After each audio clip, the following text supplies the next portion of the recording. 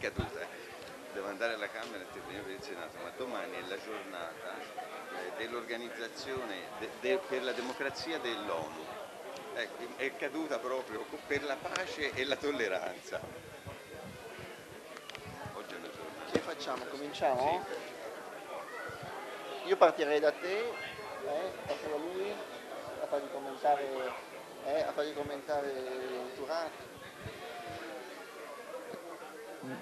Buonasera, buonasera. Grazie eh, per essere intervenuti a questo dibattito che cerca di fare una,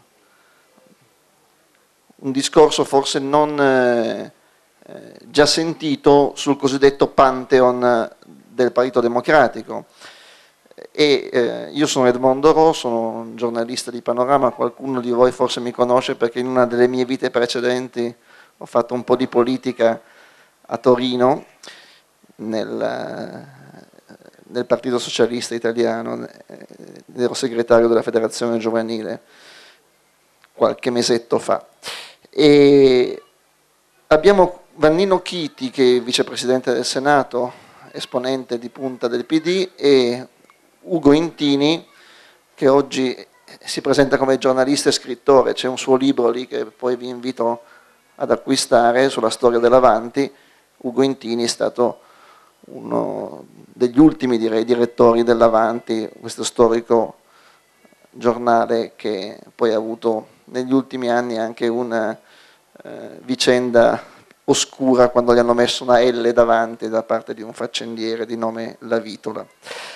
Ma torniamo al nostro dibattito. Il dibattito eh, dice gli ascendenti del PD, Moro, Berlinguer, e Turati e Rosselli, il PD e il riformismo liberal socialista. E eh, io voglio cominciare appunto da, da Filippo Turati, che in un potente discorso nel 1921, pensate, sono passati quasi cent'anni, al congresso di Livorno, quello che eh, segnò la nascita del Partito Comunista Italiano con la scissione appunto da parte di, di Bordiga, di Terracini, dei, eh, degli esponenti del Partito Socialista che, eh, filosovietici che crearono il PC. E Turati a un certo punto in questo eh, discorso diceva di se stesso, rimase il nucleo vitale dei social traditori, il vile riformismo, il marcio riformismo per alcuni, il socialismo vero per altri, immortale, invincibile, inesorabile, che può essere minoranza oggi, maggioranza domani, ma che salva il partito. Questa era l'autodefinizione di Turati e di se stesso, dei suoi amici. Ricordo che poi Turati fu anche espulso subito dopo dal Partito Socialista insieme a un certo Giacomo Matteotti. Ma eh, Turati dice, noi siamo sempre stati social traditori in un momento, sempre vincitori alla fine. E fra qualche anno, quando anche mito russo, che avete torto di confondere con la, con la rivoluzione russa, que quando questo mito, quello che è di religioso dei vostri animi, il mito bolscevico sarà evaporato, quando il bolscevismo attuale o avrà fatto fallimento, sarà trasformato dalla forza delle cose, la nostra vittoria verrà. Questa è la profezia di Filippo Turati datata 1921 e vorrei chiedere a Vannino Chiti quanto è attuale questa profezia per il Partito Democratico di oggi.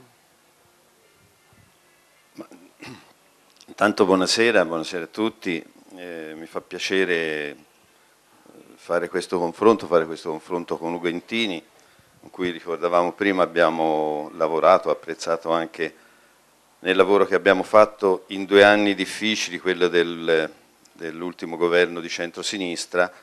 Eh, ti do un bicchiere se no?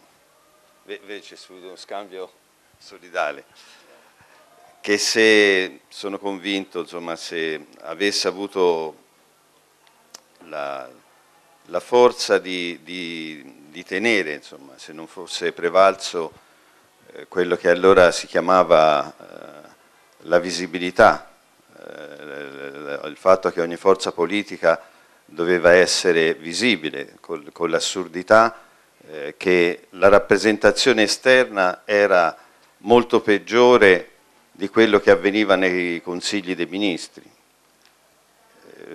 Credo che forse un pezzo di storia recente del nostro Paese sarebbe stata diversa e anche, eh, non forse, e sicuramente anche i temi che affrontiamo oggi.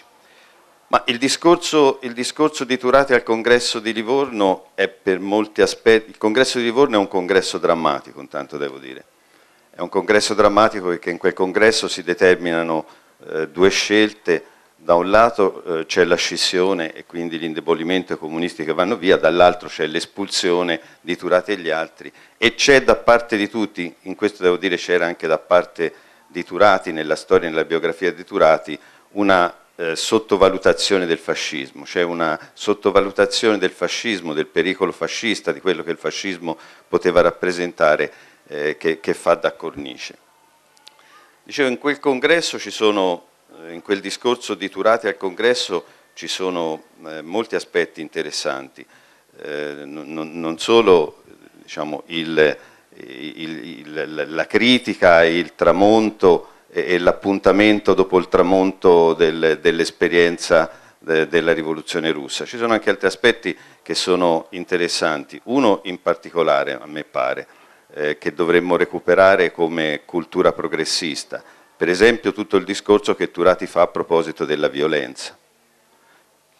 Eh, noi spesso diciamo è un punto vero, eh, oggi per esempio, ah, ecco, nessuna forza politica, certamente non il Partito Democratico, ritiene che le lotte per trasformare una società, per fare le riforme, siano lotte che possano essere compatibili eh, se viene non sul terreno della legalità ma eh, su quello della violenza. La non violenza è una scelta di fondo e diciamo, eh, credo con, appunto, che in questa scelta della non violenza eh, c'è certamente l'influenza di, di, molti insegnamenti. Eh, la, la, lezione gandiana, per dirne una del mondo, c'è certamente l'insegnamento del cattolicesimo democratico, del cattolicesimo. E, eh, e, e, però ci sono anche riferimenti appunto, che spesso si dimenticano come quello eh, che era posto da Turati. Turati dice che la violenza si può giustificare soltanto se c'è di fronte un eh, regime che è un regime eh, che lo impone come diciamo, una sorta di legittima difesa. Io penso, ecco, per, per, per, per concludere questo, questa prima riflessione, io penso che oggi diciamo, il Partito Democratico si proponga di essere sia un partito riformista progressista. Qui le parole non ci, le parole non ci aiutano più. Eh? Le parole della cultura politica non ci aiutano più perché un tempo se uno avesse detto una, una forza una forza riformista avrebbe già segnato una differenza non soltanto nell'ambito del dibattito nella sinistra, una sinistra che era più ampia, ma anche nell'ambito di un dibattito nei confronti delle forze di destra. Oggi la parola eh, riforme, riformista, non aiuta più a definire un campo. E questo ci segnala anche la necessità, credo, di, di, di, di un approfondimento e di un rinnovamento della cultura politica. In ogni caso, nell'inadeguatezza delle parole, io penso il Partito Democratico vuole essere un partito riformista progressista, un partito riformista di sinistra. Credo che in questa impostazione l'insegnamento e eh, eh, la tradizione che viene da, da, Turati, da Rosselli, da una parte importante del socialismo italiano sia, eh, sia importante e dobbiamo assumerla. Ho ripreso per questo dibattito un articolo che ha fatto sull'Espresso Scalfari il 15 marzo scorso, quello che aveva un titolo, un titolo strano, non so chi l'ha letto, Cappuccino Democratico era intitolato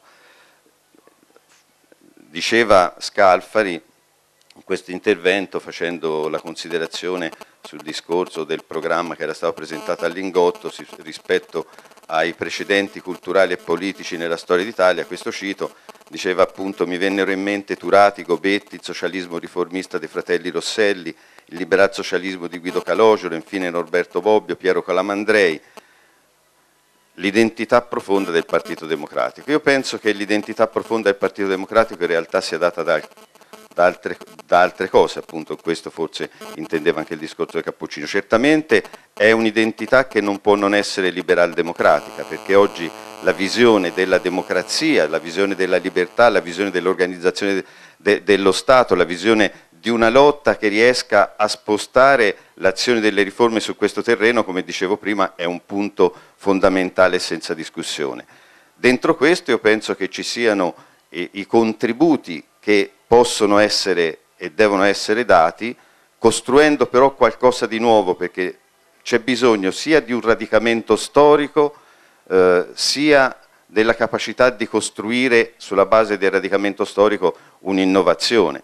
Su questa base c'è un apporto sia del pensiero, della cultura, dell'esperienza diciamo, cattolico-democratica, cattolico-progressista, sia di quella della sinistra liberal-socialista, del, de, de, di questo ramo eh, che viene dalla sinistra. Eh, infine penso che queste componenti culturali, diciamo che queste componenti culturali debbano oggi misurarsi su un punto che ha posto con grande lucidità il Presidente della Repubblica Napolitano nel recente discorso che ha fatto eh, a Venezia, mi pare, quando lui ha, posto due questioni. Una, la necessità oggi di porre l'Europa come un grande obiettivo politico ideale, diciamo gli Stati Uniti d'Europa. Anche qui c'è un recupero importante di una, di una tradizione, di una componente che viene, che viene da lontano. Qui viene anche dal pensiero mazziniano, dal pensiero laico repubblicano, da, da, ascendenti che sono addirittura nel XIX secolo, neppure nel XX. Ma oggi, fino a Spinelli, oggi diventa di grande attualità. Cioè se noi non concepiamo la lotta politica in un quadro anche europeo, credo che continuiamo a fare discorsi sulle anomalie italiane, sulle vie italiane, che sono sempre diverse da quelle degli altri paesi e non andiamo da nessuna parte. Quindi tema dell'Europa e ha posto l'altra grande questione che è la questione di partiti che siano partiti da costruire, perché non possono essere somma di partiti, ma di partiti che abbiano uno spessore, un'organizzazione, un'identità europea. Tant'è che Napolitano diceva facciamo in modo che le prossime elezioni abbia, per il Parlamento europeo 2014, non sono lontane, possano avere un'unica legge per il Parlamento europeo, grande questione perché oggi ogni Paese ha una legge per suo conto, e possano avere scambi di candidati, possano avere un unico capolista di, di, di, che, che, che, rappresenta eh, quelle forze, quelle, eh, quelle, le, le, le, varie dislocazioni. In Italia su questo si rischia, si rischia di, avere eh, de, de, de, delle, delle insufficienze dei voti. Io penso che noi, eh, per quanto ci riguarda come Partito Democratico, eh, dovremmo riflettere e far diventare patrimonio più, eh, più dentro la, la, la vita del partito l'esperienza che si sta facendo in quel gruppo che si è costituito con l'alleanza progressista dei socialisti e democratici, che cosa quel gruppo dà e che cosa quel gruppo può dare di più in termini anche di politica, di cultura e di organizzazione politica. A me sembra che questi siano eh, dei temi che abbiamo di fronte e che hanno uno spessore di attualità più di quanto a volte sembri.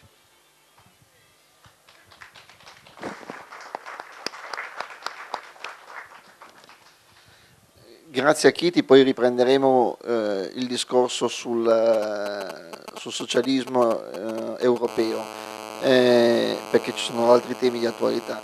Vorrei invece a, a Ugo Intini eh, chiedere ehm, un contributo eh, rispetto a un pensiero che a me sembra abbastanza dimenticato, quello di Carlo Rosselli. Eh, Carlo Rosselli in Socialismo Liberale 1929 scriveva eh, poche righe intitolate I miei conti col marxismo. Sono le famose 13 tesi di, di Rosselli che conclude dicendo le tesi sono 13, il 13 porta fortuna, chi vivrà vedrà. Eh, io penso che siano particolarmente interessanti la sesta, la settima e la decima tesi. La sesta dice che il socialismo, in quanto alfiere dinamico delle classi più numerosa, misera e oppressa, è l'erede del liberalismo. E la successiva che la libertà, presupposto della vita morale così del singolo come della collettività e il più efficace mezzo è l'ultimo fine del socialismo. Quindi socialismo e libertà messe eh, e giustapposte con la successiva decima tesi in cui Rosselli sostiene che il socialismo non si decreta dall'alto, ma si costruisce tutti i giorni dal basso nelle coscienze, nei sindacati, nella cultura. Ecco, eh, in Italia in particolare, perché viviamo, eh, poi lo riprenderemo con Chiti questo discorso, in una situazione del tutto anomala, cioè eh, in, eh, in, tutta Europa ci sono dei partiti socialisti che sono o al governo o all'opposizione, Francia, Hollande ha vinto le elezioni, eh, eh, l'SPD vorrebbe vincere l'anno prossimo in Germania, comunque sono partiti socialisti, socialdemocratici che aderiscono tuttora all'internazionale socialista, lo stesso vale per il Labour Party in Gran Bretagna o per il Partito Socialista Obrero Spagnolo in Spagna. In Italia invece no, in Italia c'è questa anomalia, eh, è un'anomalia italiana perché come dire, non si sono eh, eh, seguite queste idee di Rosselli ormai di oltre 80 anni fa, oppure perché c'è una specificità italiana eh, degli ultimi vent'anni in particolare che ha portato a questa situazione, Intini? Grazie. Ma io di questi tempi faccio il militante del mio piccolo partito, di cui è segretario Nencini, non faccio politica attiva e cerco di rendermi utile dando un contributo sul piano storico, sul piano culturale, cercando di aiutare una sinistra che spesso appare senza identità a trovare un ancoraggio alla storia e alla geografia. Alla storia nel senso che eh, la sinistra non è nata sotto un cavolo, la sinistra ha un'antica tradizione della quale si deve riappropriare perché eh, senza passato non c'è futuro e la storia alla quale la sinistra si deve ancorare è quella del socialismo democratico. Un ancoraggio nella storia e un ancoraggio nella geografia, perché c'è una famiglia dei partiti socialisti democratici, innanzitutto europea, a quella famiglia dobbiamo appartenere a pieno titolo, eh, perché soltanto nella dimensione europea c'è la prospettiva di concludere qualcosa di concreto e di utile. Questo io credo debba essere lo sforzo di recupero della identità della sinistra, questo deve essere il contributo che dà un piccolo partito socialista che si sente parte di una famiglia più grande. Ro, nel suo intervento, ha citato giustamente Turati, io di questi tempi sono fresco di studi perché ho fatto questo libro che voi vedete sulla storia dell'Avanti, che è poi la storia del socialismo e del secolo 1896-1993, e naturalmente in questo libro si dà anche lì per esteso questo intervento di Turati al congresso di Livorno che è assolutamente profetico. Nella sostanza Turati con rispetto dice voi, dice ai comunisti che se ne vanno con Gramsci, inseguite oggi il mito della rivoluzione sovietica, il mito di Mosca, ma vi accorgerete che questo mito è falso e tornerete sulla strada del socialismo democratico, che è quello che deve accadere e che sta accadendo oggi. In effetti, vedendo proprio le cose da Torino, che è una città importante per la sinistra, eh, in effetti eh, si vede subito che apparteniamo a una stessa famiglia che si è divisa, ma che deve ritornare unita. E, eh, il comunismo è nato da una costola dell'Avanti ed è nato a Torino da questa costola dell'Avanti, perché pochi ricordano che Gramsci era il leader della edizione di Torino dell'Avanti, l'Avanti aveva tre edizioni allora, Milano, Roma e Torino, e a un certo momento l'edizione di Torino dell'Avanti diventa sempre più massimalista e a questo punto eh, Serrati, che è il direttore centrale, la chiude. La chiude alla fine di dicembre del 1920 e un giorno dopo, il primo gennaio del 1921, Gramsci, Terracini e Togliatti, che erano i redattori dell'Avanti di Torino, negli stessi locali, con lo stesso telefono, con la stessa tipografia, fondano l'Ordine Nuovo Quotidiano. E poverini si tassano, ciascuno dà un contributo perché mancavano i soldi, eccetera. Qui nasce da una costola dell'avanti eh, il comunismo, perché l'ordine nuovo, come si sa, è, è, la culla del comunismo stesso. Voglio dire una cosa a proposito di, di, della Torino del tempo, che è poco conosciuta, anzi niente. Eh, oggi ci si preoccupa per la Fiat, eh, Marchionne se sente questa cosa gli vendono i capelli dritti in testa ma nel 1920 ci fu l'idea di Agnelli, quello vero, di trasformare la Fiat in cooperativa. Agnelli chiese un incontro a Romita, che era il giovane deputato riformista di Torino, e sostanzialmente gli disse, e mi rendo conto che ormai la Fiat è diventata ingovernabile, che c'è l'occupazione delle fabbriche, eccetera, questa fabbrica ha un grande futuro, può diventare una grande fabbrica nel mondo, però dobbiamo superare questo momento drammatico, facciamone una cooperativa, io mantengo un ruolo di direzione e così salviamo l'azienda. Poi non se ne fece niente, ma insomma questo era. E ci fu un dibattito promosso dall'Avanti, io credo che l'articolo lo scrisse Gramsci stesso, perché non è firmato, ma per dire come le cose sono cambiate con il tempo. Bene, io credo che si debba fare dunque lo sforzo per trasformare la sinistra democratica italiana in un moderno partito socialista europeo ancorato alla storia del socialismo democratico. Dove sta la difficoltà?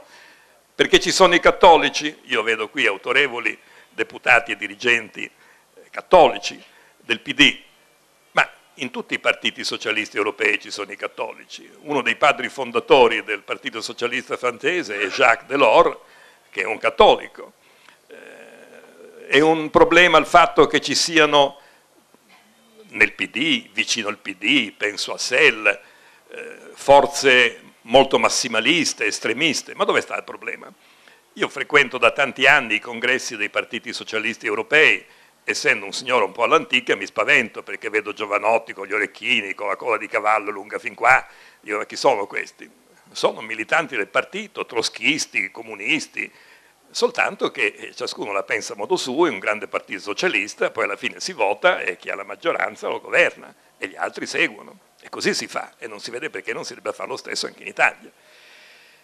A proposito di massimalismo o estremismo, non è che ab abbiano torto quelli che avanzano una critica furibonda, asprissima, a quello che è il sistema economico di oggi e qui parlavamo prima di Turati, di Gramsci, ma questi nostri padri fondatori combattevano contro un capitalismo che era mille volte meglio di questa finanza internazionale di oggi. Si dice ancora troppo poco. Intanto la crisi economica mondiale nasce da questa banda di delinquenti, diciamo le cose come stanno, che hanno trasformato le borse in un casino senza frontiere, e che hanno scommesso 20 quando possedevano uno. Quindi peggio che nei casinò, perché nei casinò se tu scommetti devi averli i soldi per scommettere, questi non ce li hanno neanche i soldi per scommettere. Ma poi quei capitalisti di un tempo almeno producevano qualcosa. Questi non producono niente, producono solo carta. E carta dietro la quale non c'è niente, titoli finti. I capitalisti di un tempo condividevano l'etica del lavoro, che è la etica nostra. Questi non hanno etica del lavoro, questi hanno la etica del gatto e della volpe che incontrano Pinocchio e che spiegano a Pinocchio che se si mettono i soldi e le monete d'oro sottoterra poi crescono i soldi.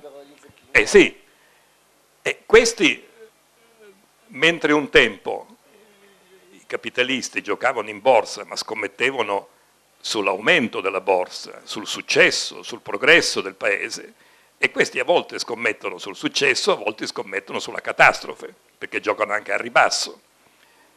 Un tempo i capitalisti rischiavano, questi non rischia niente, perché quando vincono prendono i soldi e quando perdono, siccome come dice Obama sono too big to fail, troppo grandi per fallire, i soldi glieli dà lo Stato, qui non rischiano niente. Un tempo poi capitalisti, cercavano di avere influenza sui governi. Questi invece governano loro direttamente, hanno privatizzato la politica, se così si può dire. Quindi non è che abbiano torto gli estremisti, soltanto che bisogna ragionare sul fatto che ciascun singolo paese non può contrastare la finanza internazionale, perché c'è una disparità abissale, la finanza, l'economia è globale, la politica è scioccamente chiusa in confini nazionali anacronistici e ridicoli, per cui i politici sono diventati dei poveri amministratori di condominio che non decidono niente e le grandi decisioni passano sopra la loro testa.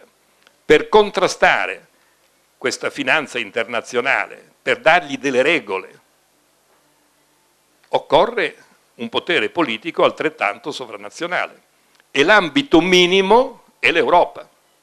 Quindi una sinistra degna di questo nome deve innanzitutto convincere l'opinione pubblica sulla necessità di una grande battaglia per l'unità politica dell'Europa. Senza di questa non si va da nessuna parte e ciascun singolo paese non può che fare, preso per le orecchie, quello che ordinano i poteri economici forti. Chiunque governi non può fare che questo. E qui bisogna anche dire che i nostri padri fondatori le cose le avevano viste per tempo, perché Turati era stato profetico non solo, come ha detto Ro, prevedendo che i comunisti sarebbero ritornati sul cammino del riformismo, ma Turati nel 1896, nel suo primo discorso alla Camera, dice abbiamo bisogno degli Stati Uniti d'Europa, 1896. E nel 1929 aggiunge una elaborazione, dice altrimenti diventeremo una colonia di quella nostra ex colonia di un tempo, gli Stati Uniti d'America. E dice, e l'unità politica dell'Europa non sarà possibile sino a che non sarà questo cancro che è il fascismo e che è l'anti-Europa. Queste parole ci sono nel mio libro perché è uno dei punti essenziali, insegnano qualcosa per l'oggi. Perché la grande finanza anglosassone non vuole l'Europa politica unita? Esattamente per il motivo che diceva Turati. E questo cancro del fascismo, che è l'anti-Europa, si è riformato ed è per questo che l'Europa è in crisi. Si è riformato non come fascismo vero e proprio, ma come intolleranza, come razzismo, come egoismo, come nazionalismo, come populismo emergente in tutta Europa. Essendosi riformato questo cancro, l'Europa è andata in crisi. E i socialisti che avevano assimilato la lezione di Turati, nel 1947 al congresso socialista di Firenze avevano un grande slogan che dominava la platea, non c'è Europa senza socialismo, non c'è socialismo senza Europa. E anche questa è una lezione attuale. Socialismo che cos'è? È uno spirito di solidarietà politico e senza uno spirito di solidarietà politico non c'è Europa in effetti. Senza un minimo di socialismo e senza ritorno della politica non c'è Europa ed è il tema esattamente del momento. Ro vi poneva un argomento importante, quello della lezione di Rosselli. Devo dire che sull'avanti in esilio a Parigi c'erano dei dibattiti di un livello incredibile, incrociavano le penne Saragat, Nenni, Rosselli e Rosselli insiste su questo tema e devo dire che Saragat non è d'accordo. Saragat non è d'accordo perché Saragat era marxista. Non parliamo poi di Nenni che era ancora di più, anzi era massimalista a quei tempi, ma aveva ragione Rosselli. I socialisti italiani hanno cercato di imparare la lezione. Purtroppo si copia sempre in politica, non c'è mica mai niente di nuovo. Eh. Eh, abbiamo tutti copiato. Nel 79 ricordo che io stesso, che sono un grande copiatore, lanciai con un libro che si chiamava Lib Lab, insieme a Enzo Bettizza, il tema del liberal socialismo. E lanciavamo questo tema copiando pari pari Rosselli. Non è che c'era niente da, da imparare eravamo dei divulgatori, devo dire, e ricordavamo che Rosselli insisteva sul tema che il socialismo è in qualche modo il continuatore del liberalismo, perché rende i valori liberali, che erano dei valori ristretti a una elite, dei valori disponibili al popolo, alle masse. E in fondo c'è stato questo fenomeno, perché i valori liberali oggi sono valori che solo appartengono al popolo, è così. Però stiamo molto attenti a non confondere liberali con liberisti. E I liberisti di oggi sarebbero visti con orrore dai liberali, ma non solo dai liberal socialisti come Rosselli, anche dai liberali veri come Inaudi. E Inaudi diceva delle cose che se le dicesse oggi lo prenderebbero per un estremista di estrema sinistra.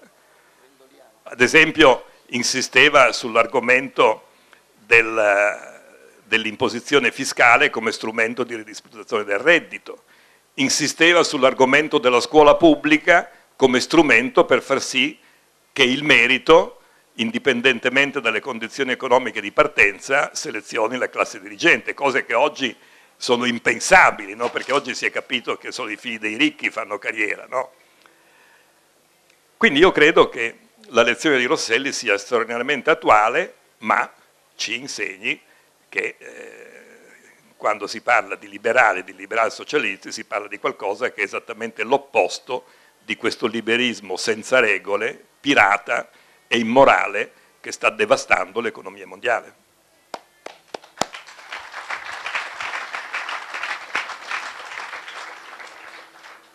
Allora, grazie a Ugo Intini, sia per quello che ha detto, che trovo estremamente eh, condivisibile, ma anche perché ci ha dato, come dire, una chiave di lettura per passare, dire, dalla storia all'attualità. Allora io ne approfitto per eh, ripassare la palla a, a Vanino Chiti eh, con un paio di domande. Una eh, parte appunto da quello che dicevi anche tu prima nel tuo primo intervento eh, sull'Europa, aggiungendo le cose che adesso eh, ci ricordava Ugo Intini. Eh, Turati 1896, 1896, quindi parliamo di 116 anni fa, parlava di Stati Uniti d'Europa e poi aggiungeva un po' di anni dopo, se no torneremo dire, a essere una colonia di quella che era un giorno la nostra colonia, cioè gli Stati Uniti d'America. Ancora una volta profetico.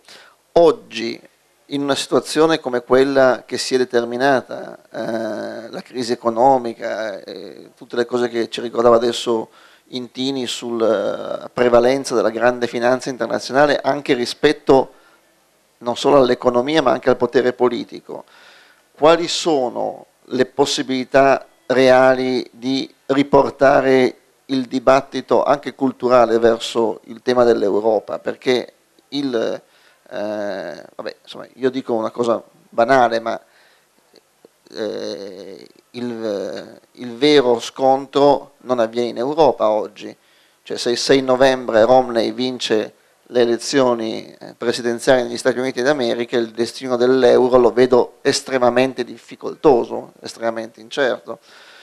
Però quali sono le possibilità per la democrazia, se ancora esiste in Italia e in Europa, di fare un passo avanti anche verso il socialismo, verso un discorso che può necessariamente dire, riportare anche un partito come il PD in un alveo che è quello del socialismo europeo.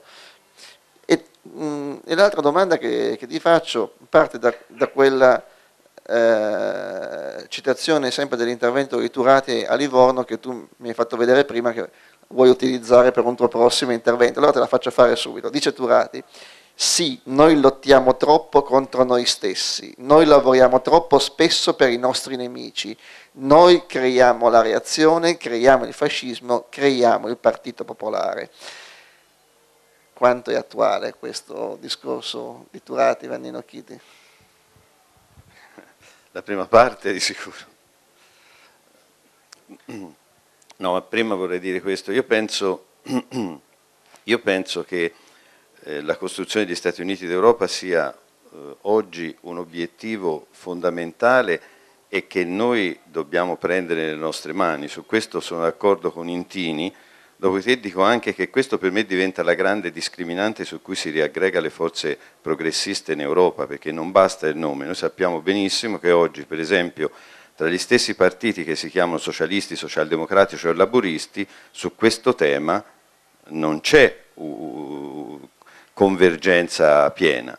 Eh, nel, periodo in cui ci sono stati tanti governi eh, progressisti di centro-sinistra in Europa, ad esempio, per, per una fase le posizioni eh, dei laburisti in Gran Bretagna erano più vicine a quelle del Partito Popolare di Asnar su questo tema che su altre. Quindi ci sono contraddizioni che noi dobbiamo avvertire.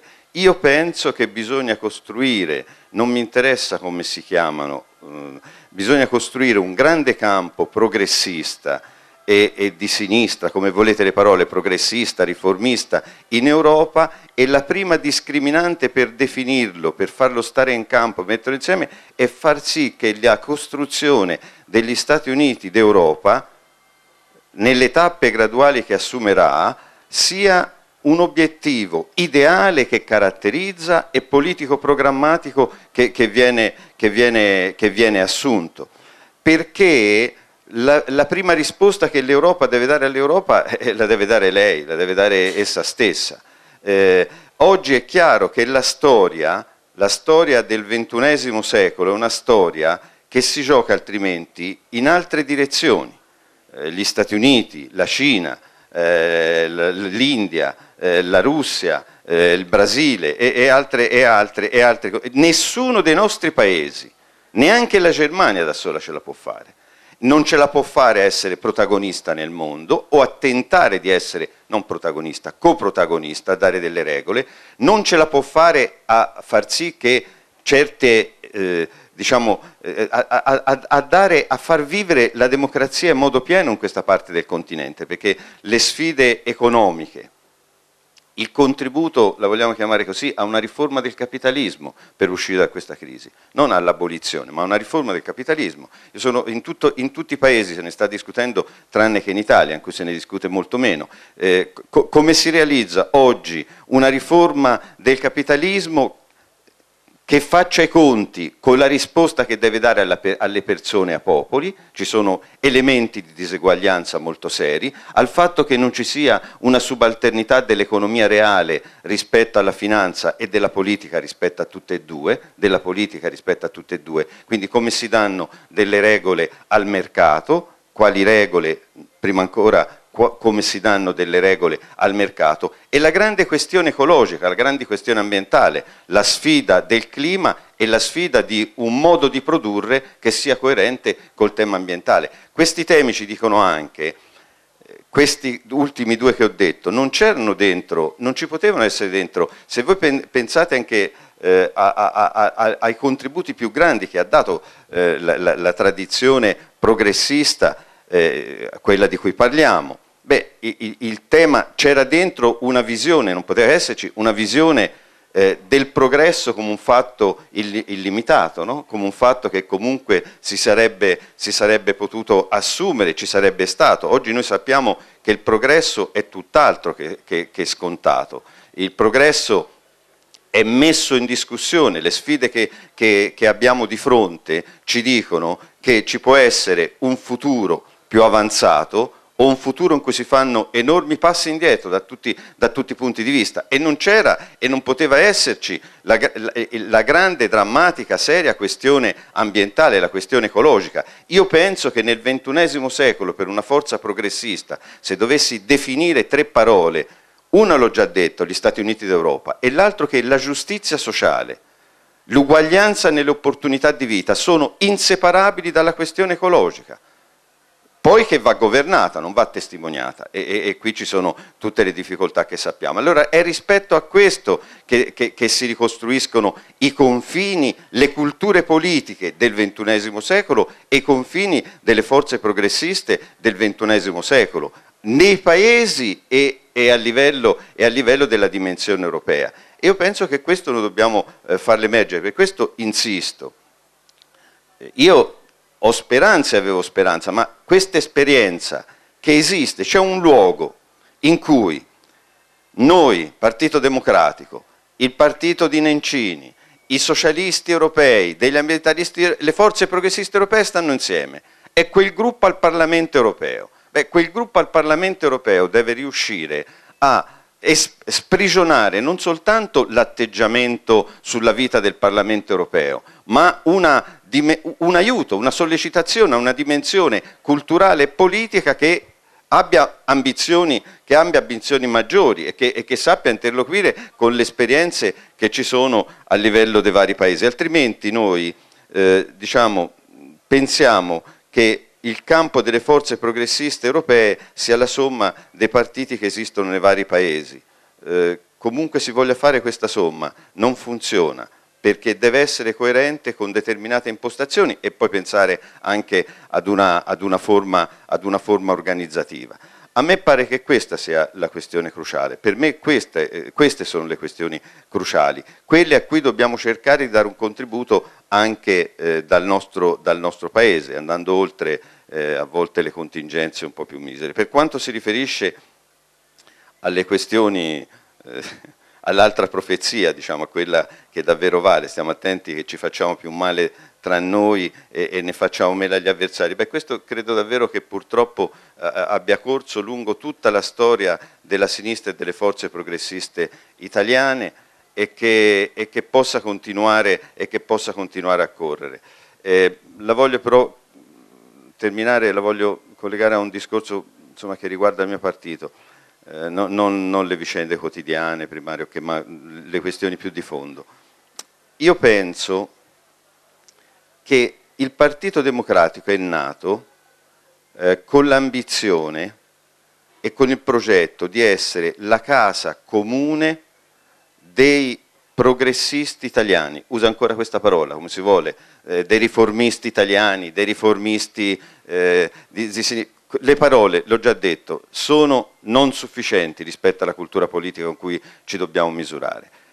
Da questo punto di vista, eh, che l'esperienza da, eh, cui viene eh, Ugo, che l'esperienza socialista non ci sia e, e, e, e diciamo, si mantenga un punto separato nel Partito Socialista, io lo considero un fatto negativo, non, non è un dato solo quantitativo, è un dato di eh, di, di, di, avere una sede dove, di avere un luogo comune in cui i progressisti insieme stanno. Da questo punto di vista in cui si recupera, si recupera anche quella che fu una eh, divisione lontana che oggi francamente nel, nel, nella storia, nella cultura e nella politica non ha grande fondamento.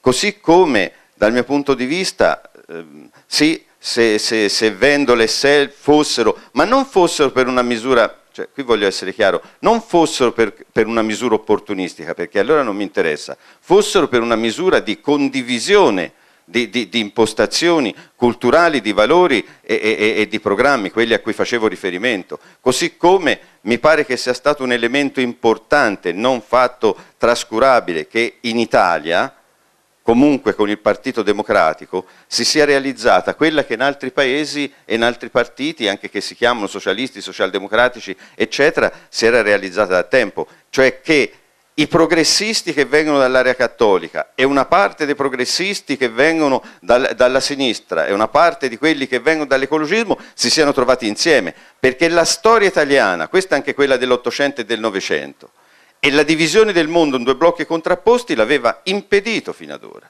non l'aveva consentito. E questo è comunque un grande fatto, che non è sufficiente perché, ripeto, eh, per non farci male, per provare a far male agli avversari, bisogna che il Partito Democratico sia effettivamente la casa comune dei riformisti progressisti italiani, così come bisogna costruire insieme un campo di forze progressiste a livello europeo che abbia quello spessore ideale e culturale e quegli obiettivi a cui facevo riferimento.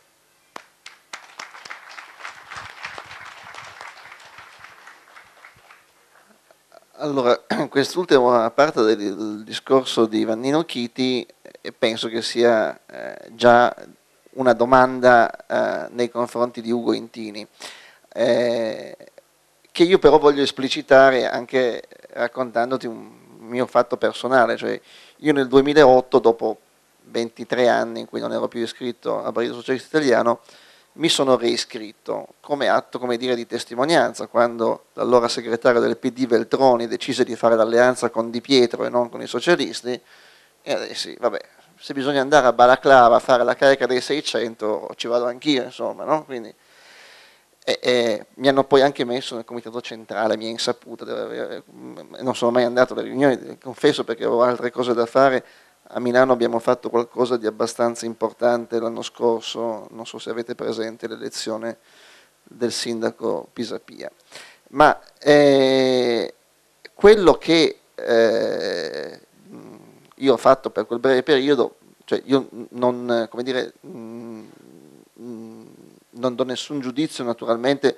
sulla testimonianza che continuano a dare Intini e altri compagni che sono eh, rimasti nel, nel PSI eh, di oggi. Eh, però mi sono chiesto nel 2010, dopo l'esperienza delle elezioni europee del 2009, che eh, purtroppo anche per colpa di una legge elettorale voluta dall'allora segretario del PD Veltroni, continuiamo a, a, fare nomi e cognomi come dire di chi ha commesso degli errori che hanno diviso la sinistra, l'esperienza di Sinistra Libertà non arrivò al, al quorum per eh, dare la rappresentanza ai socialisti, e, agli ecologisti, ai, ai, Verdi, agli amici Nichi Vendolo usciti da Rifondazione nel Parlamento europeo. Ecco, poi continuare a mantenere questo piccolo nucleo, come dire, questo partito di testimonianza 0,1%, mi, mi, è sembrato francamente inutile. Ecco, io in questo senso dico, la, eh, lo dico come testimonianza personale per quello che può valere di una, eh, di una persona che ha fatto politica quando era diversamente giovane e che oggi eh, la fa diversamente, no? come dire, facendo un'attività professionale. Però nelle parole di Chiti c'è, come dire, eh, un grande senso, che io aggiungerei con un altro discorso. Manca nel, in quello che dice Chiti l'appartenenza, come dire, eh, anche se lui la, dice in un altro modo molto bene, cioè, i progressisti, gli Stati Uniti d'Europa, però manca l'appartenenza ancora alla famiglia del socialismo europeo. Sì, c'è il gruppo parlamentare insieme al Parlamento europeo, ecco, ma per esempio l'idea che abbiamo lanciato noi dei circoli socialisti del nord-ovest del gruppo di Volpedo, di una adesione diretta, individuale al Partito Socialista Europeo, anche saltando i partiti eh, nazionali, non potrebbe sposarsi con quello che diceva Chiti, cioè vabbè, uno sta nel PD, ha una componente socialista, un'area socialista, un'area culturale, riformista, più o meno grande e poi può aderire direttamente, anche individualmente, come circoli al Partito Socialista Europeo. Eh, forse dopo oltre cent'anni eh, di vita eh, e di morte eh, e anche di resurrezione, magari, del socialismo, eh, bisognerebbe cominciare a innovare. Ultimissima domanda, solo di attualità, perché eh, è vero che i socialisti vogliono candidare un loro candidato alle primarie del centro-sinistra, mi è giunta questa voce, magari Intini può dare una risposta breve, sì o no, se smentisce o, o se dice che ci stanno pensando.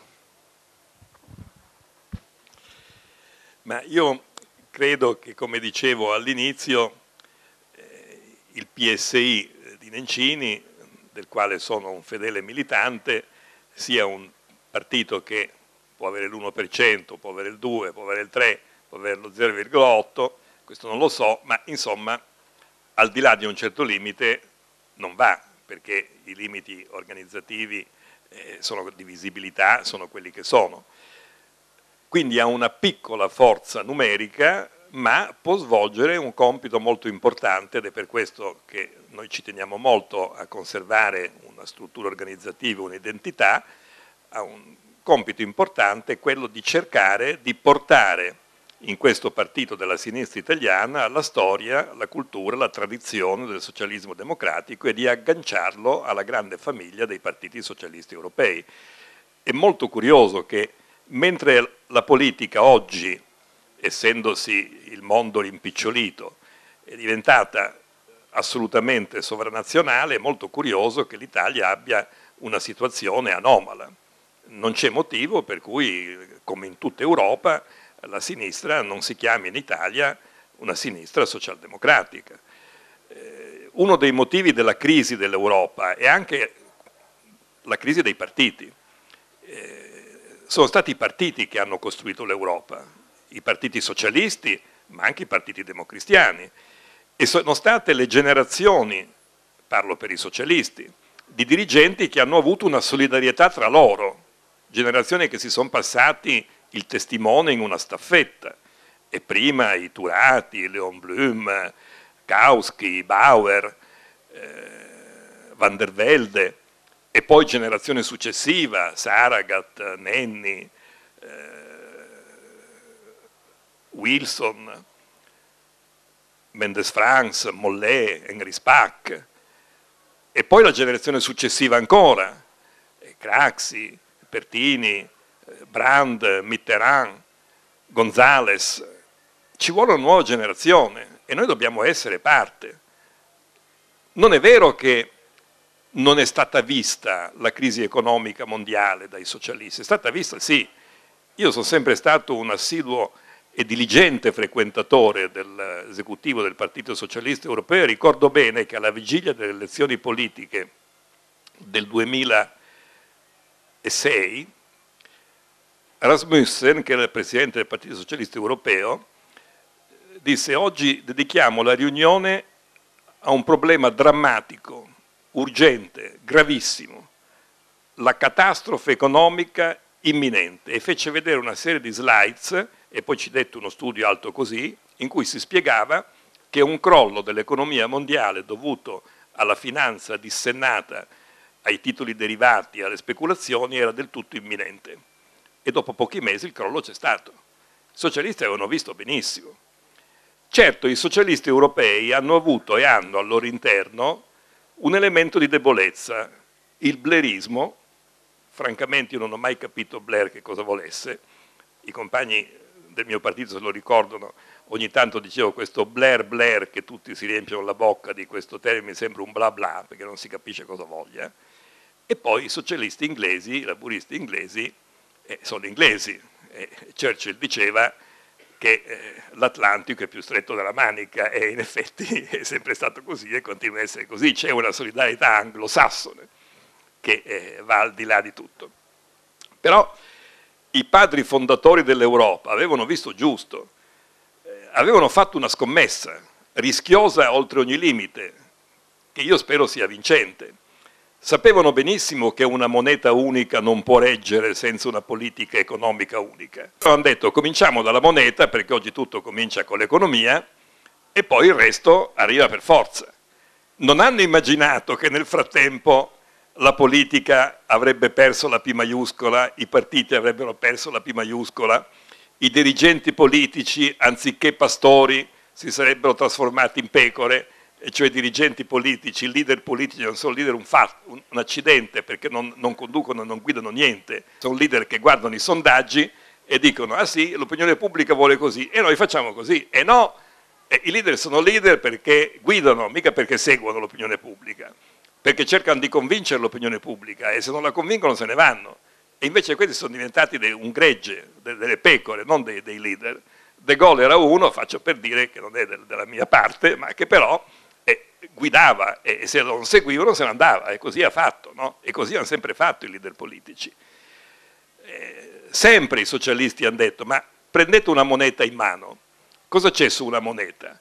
Una testa coronata, simbolo della sovranità, una spada, simbolo eh, di un potere eh, militare, di una difesa comune, eh, una bilancia, simbolo che c'è una giustizia comune, e questo è una moneta appesa a queste cose, non può essere appesa al nulla.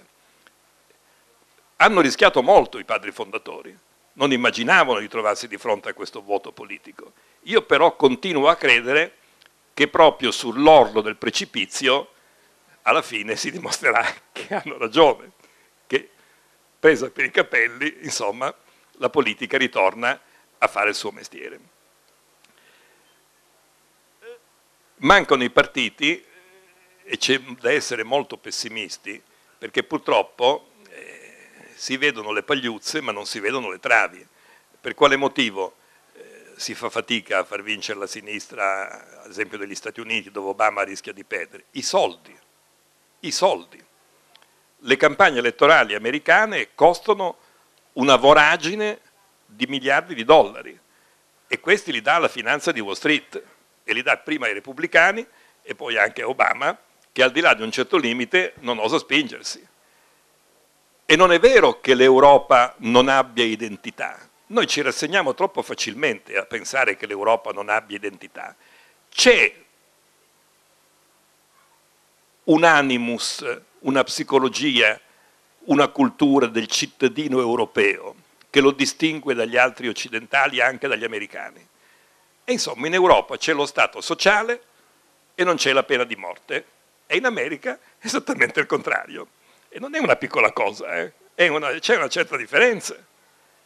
E l'America, che è il paese più ricco del mondo, gli Stati Uniti, ancora oggi non riesce a darsi uno Stato sociale.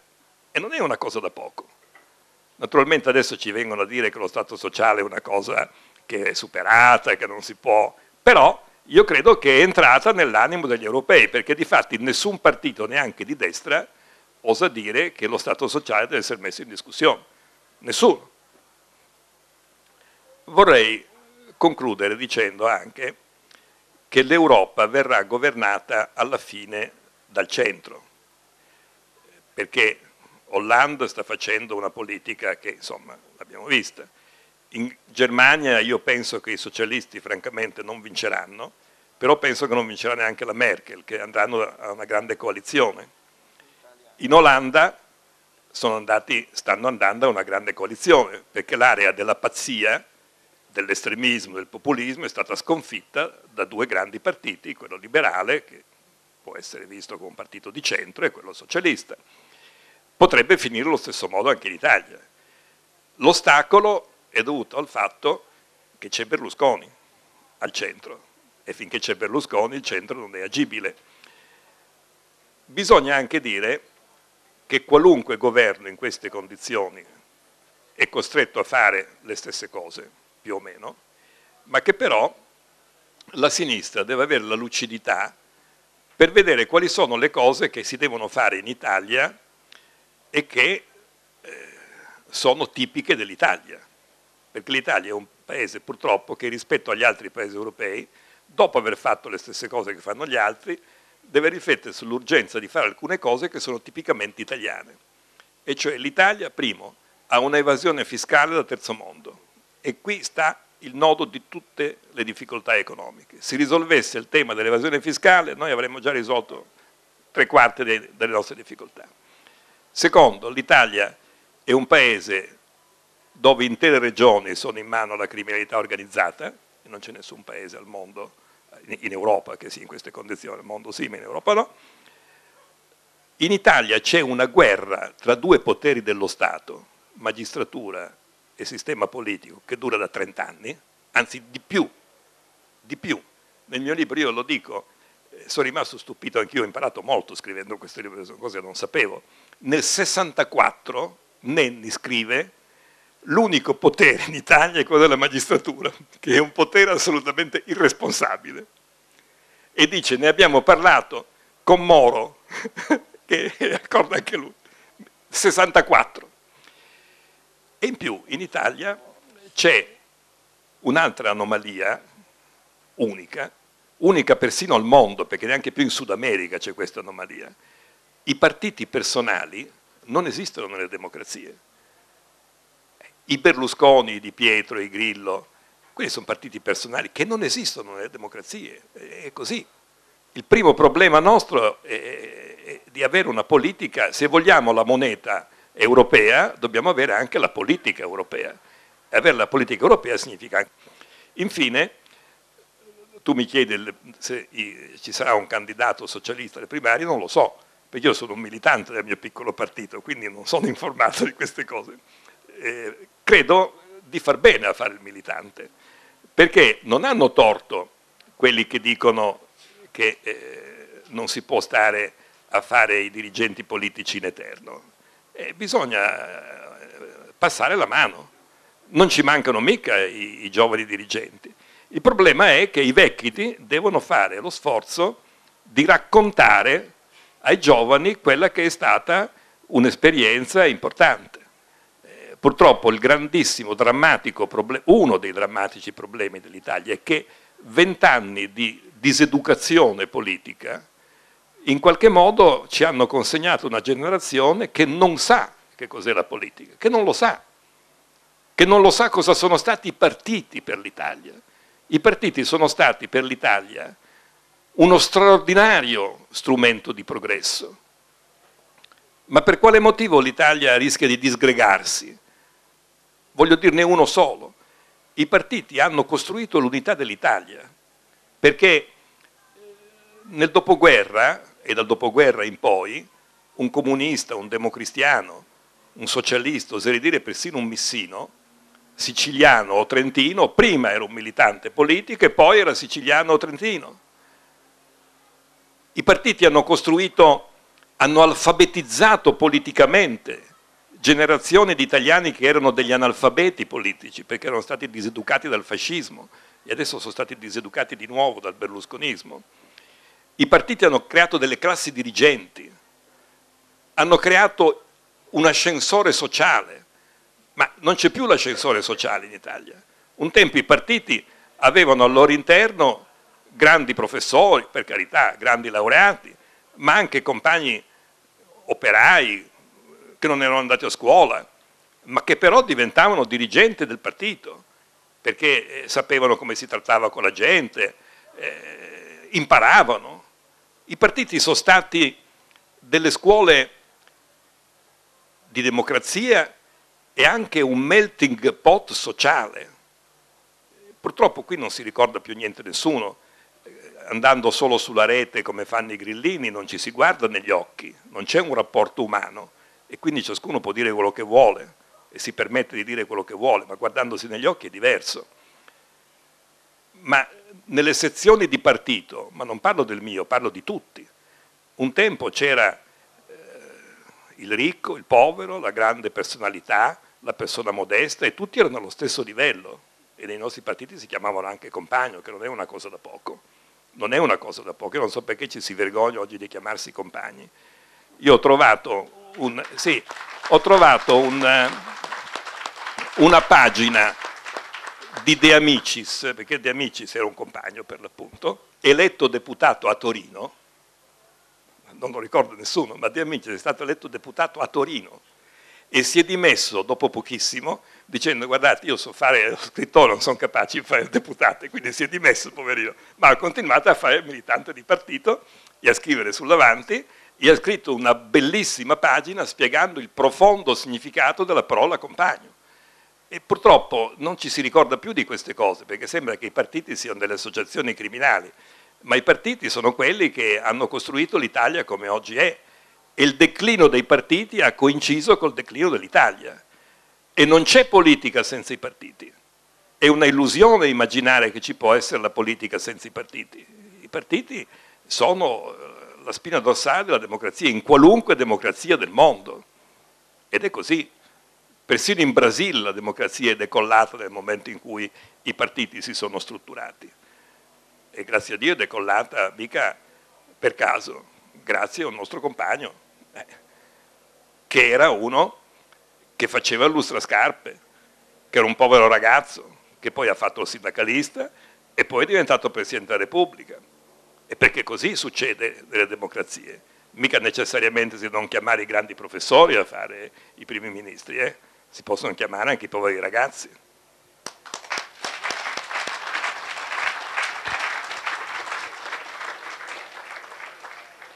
Eh beh, eh, il, eh, i ricordi di Ugo Intini, di Lula eh, adesso eh, e, e, prima di De Amicis, eh, come dire, mi sembrano entrambi molto, molto precisi. Tra l'altro, volevo dire una cosa, io mi chiamo così perché mio nonno si chiamava Edmondo Ro, nato a Torino nel 1901 e fu chiamato in questo modo in onore mio bisnonno era direttore didattico in una scuola elementare in onore di un suo amico che poi diventò anche deputato socialista che si chiamava Edmondo De Amicis.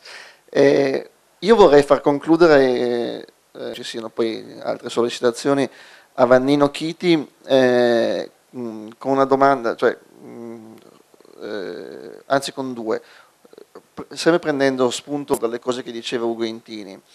Eh, io mi ricordo, come molti vedo in questa sala, in, questa, sala, in questa platea, insomma, del, dell'epoca in cui si andava nelle sezioni oggi c'è la rete, oggi c'è la televisione. Io ho visto per esempio ieri sera questo dibattito alla 7 sul, che partiva da questo scoop diciamo così, del fuori onda sulla mancanza di democrazia nel Movimento 5 Stelle di Beppe Grillo e che però a mio modesto avviso, parlo come professionista della comunicazione, si è trasformato in uno spottone di tre ore a favore del Movimento 5 Stelle. Allora, io mi chiedo e ti chiedo se i partiti, eh, di cui c'è ancora esigenza, come ricordava anche Intini, che, che devono anche riformarsi, eh, eh, riescono oggi di nuovo a intercettare la, la necessità, come dire, di, eh, di, non fare cortocircuito con, con l'opinione pubblica, perché di questo si tratta. Cioè, ormai eh, la situazione, secondo me, eh, rischia di eh, sfuggire di mano al, non solo per quello che ricordava Ugo Intini, cioè i partiti personali in Italia, eh, dopo vent'anni che abbiamo avuto l'imprenditore, adesso ci si affida al comico piuttosto che a, a, a, al professore.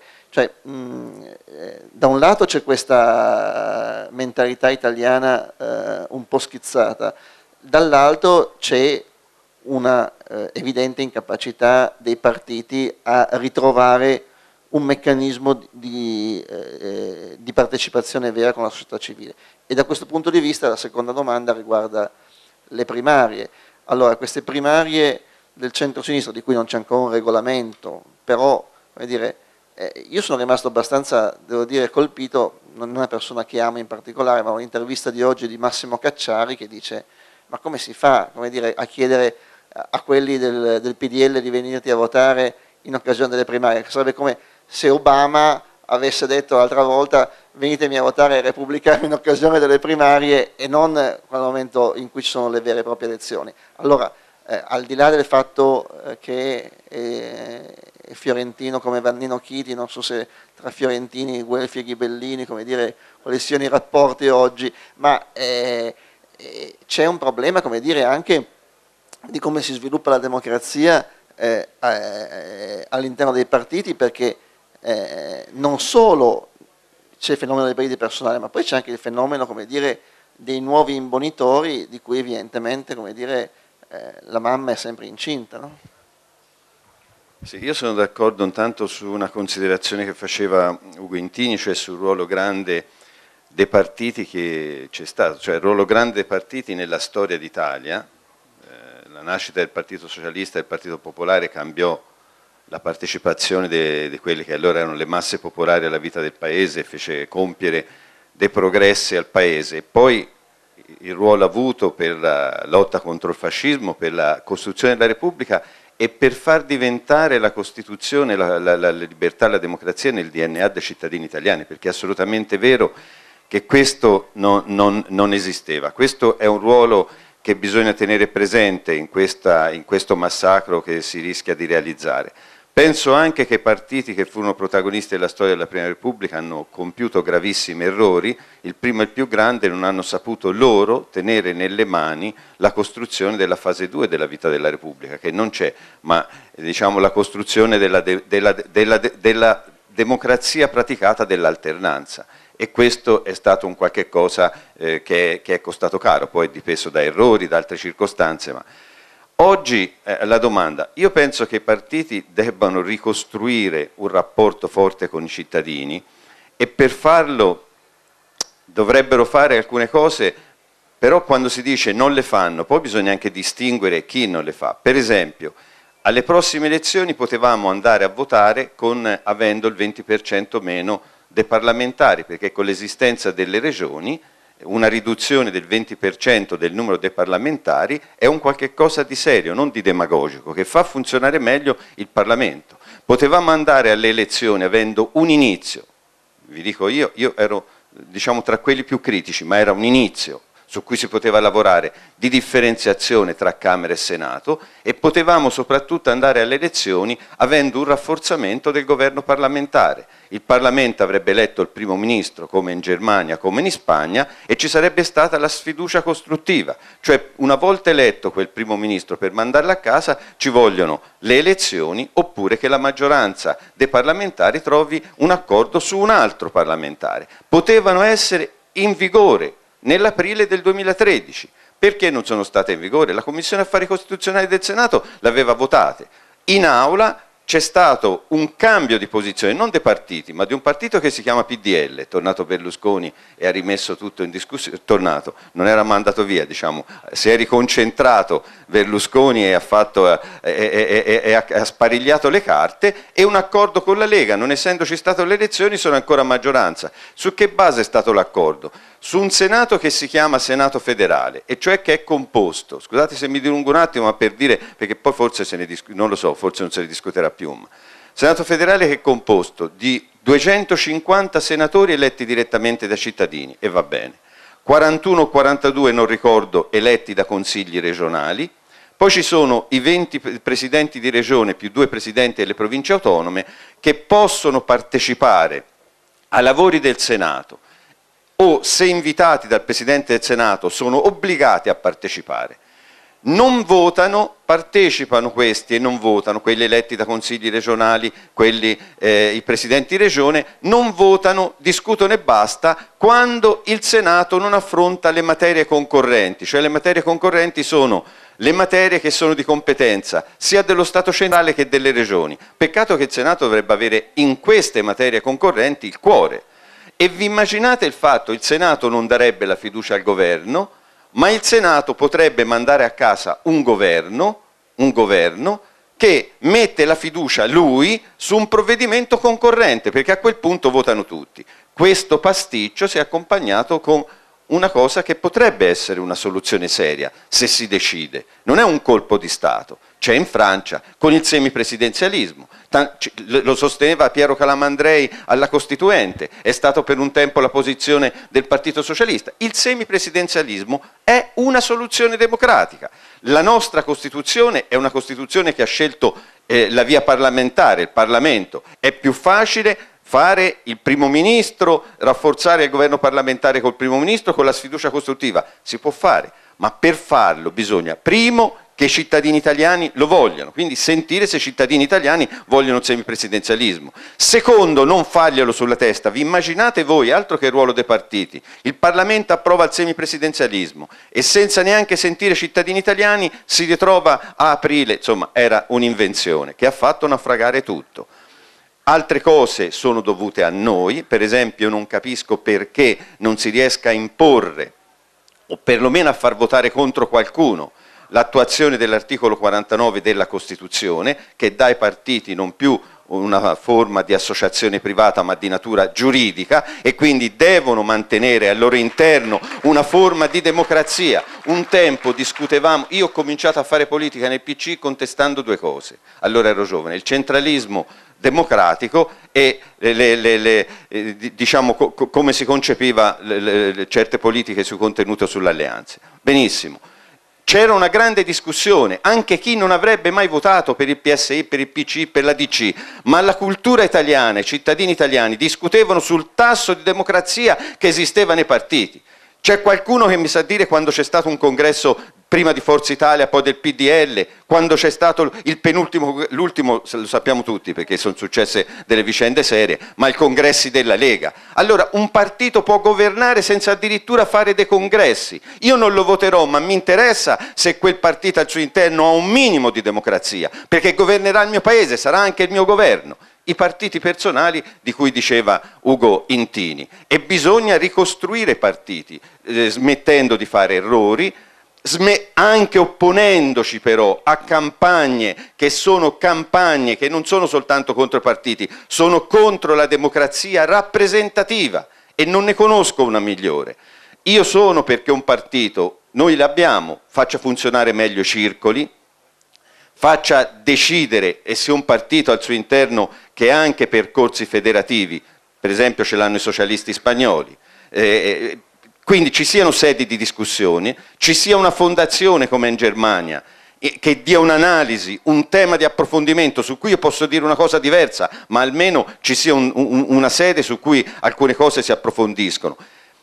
Ci sia anche la rete, la rete va utilizzata, la comunicazione va utilizzata, ma non bisogna essere acritici, lo sappiamo tutti che il 90% dei contenuti che sono sulla rete sono fatti dal 10% di quelli che si chiamano influenzatori. Poi Grillo le giocherà per, per, come le vuole giocare lui, un altro per come le vuole giocare. Noi dobbiamo sapere che la rete è importante, esserci, essere presente. Non è tutto, perché bisogna poter discutere e soprattutto sulla rete ci si scambia opinioni, si fanno opinioni, si, si progetta una posizione, non si decide, perché la decisione la possono prendere le assemblee elettive, altrimenti c'è un populismo, non, nessuno sa in quali forme nuove, ma è un populismo, non è la democrazia rappresentativa che decide. Il decisore nella democrazia è un punto importante. Sulle primarie, ma intanto, io dico mie posizioni personali, intanto se viene fatta una legge elettorale come quella che si annuncia, se davvero c'è un accordo eh, tra PDL, Lega e UDC, eh, che non è quella tedesca, è una legge elettorale con uno sbarramento al 5% e le preferenze. Francamente si può fare tutto, ma non si dica che si sa chi sarà il Presidente del Consiglio, perché per sapere chi è il Presidente del Consiglio ci vuole una legge o come quella spagnola, o come quella tedesca, o come quella francese, cioè una legge che dice che chi vince forma un governo e quindi il candidato di, quel di quella coalizione lo formerà il governo. Se si va in una legge che questo non c'è, si può fare le primarie che si vuole, ma non si sa chi, chi, chi sarà il governo neanche quando sono chiuse le urne, e questo è un ritorno indietro. Eh, chi sarà eh, che, che, che, che, fa il Presidente del Consiglio e chi toccherà il Presidente del Consiglio. Io poi mi auguro, non è questo, diciamo a questo punto lo possono presentare socialisti, c'è Vendola, ce ne sono tanti, però guardate, io mi auguro che un giorno in Italia, vicino, magari alla prossima legislatura, ci sia un bipolarismo che funziona governo parlamentare con la sfiducia costruttiva, un governo che funziona. Quando si va a votare si scelgono i rappresentanti in Parlamento e si contribuisca a scegliere maggioranze che poi governano per la legislatura o vanno a casa se non sanno governare, perché in quel momento, in quel momento come in tutti i paesi del mondo avanzati europei, sia il leader del partito più grande di quella coalizione che governa, che forma il governo, che fa il primo ministro. Perché non mi si venga a dire che se vince, ora lasciamo stare le vicende dentro il PD, non voglio entrare, non voglio utilizzare queste, ma se, con tutto rispetto, vince Vendola, Vendola è in grado di, di, di, dirigere un governo parlamentare in cui il primo partito non esprime il Presidente del Consiglio, ma vi risulta che in Germania, quando c'è l'alleanza tra democristiani e liberali, o quella tra socialdemocratici e verdi, sono le due alleanze, eh, vi risulta che i liberali dicono discutiamo se il cancelliere si fa noi? Ma non scherziamo, in Germania quando c'è stata la grande coalizione tra democristiani e socialdemocratici, la Angela Merkel che aveva uno 0,2 in più, 0,2, ha fatto il cancelliere, perché chi arriva primo esprime il capo del governo. E in Spagna il primo governo Aznar e i due governi Zapatero, la, il partito eh, popolare lì è la democrazia cristiana, eh, spagnolo e il partito socialista spagnolo non avevano la maggioranza assoluta, no? non due seggi come noi Ugo al Senato, non avevano la maggioranza assoluta nelle Cortes e nel Parlamento spagnolo, ma lì è normale che il partito che vince le elezioni forma il governo, non è che chi arriva secondo offra partiti regionali quattro cose di più di quello che gli offre il primo, no, ha il diritto di formare il governo che ha vinto le elezioni, forma un, accordo per eleggere il primo ministro e poi c'è la sfiducia costruttiva. La nostra democrazia comincerà a funzionare e i partiti ricominceranno a esserci a funzionare quando queste cose ci saranno, perché è così che funziona ogni democrazia al mondo. E, e speriamo che quello che ha appena detto Vannino Chiti sia una profezia che si avvera, perché eh, io vorrei concludere mi spiace non poter dare spazio al dibattito, ma poi c'è anche un altro dibattito dopo. E l'ultima eh, cosa che voglio dire è che eh, il, nei miei conti col marxismo di Carlo Rosselli, lui ricorda che socialismo senza democrazia è come volere la botte piena e la moglie ubriaca.